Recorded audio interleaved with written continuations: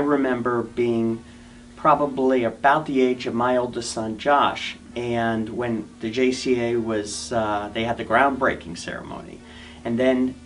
thinking about what the JCA was going to be,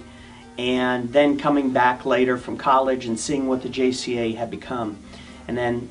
going fast forward, being a, a volunteer and then sitting on the board and, and ultimately being a uh, president of the JCA and now a past president of the JCA, seeing how many lives are touched, it's, um, it's just amazing. My most compelling memory was probably when I had my first child. It was such a, a new experience for me and I found a lot of companionship at the JCA, a lot of other mothers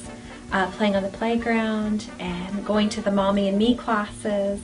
and starting preschool. It's important to go to a facility, a Jewish facility like the JCA, because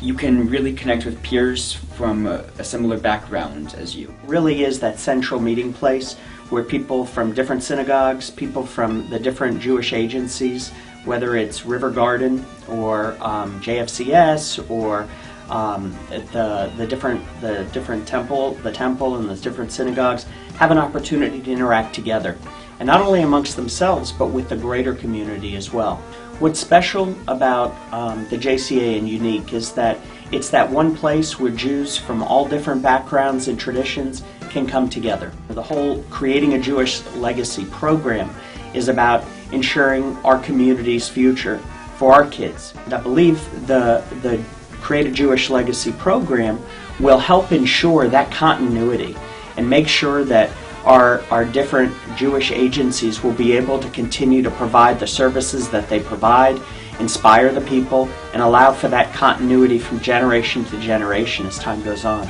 I think it's really important to have the JCA because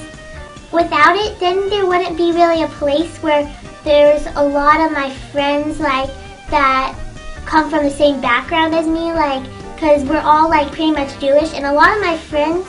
go to the JCA that also go to my temple, so I know a bunch of them, and so I think that's pretty cool. A, a really a, a, good thing that my parents are involved, and, and that, that can help out like this. One day I, I hope I can do the same.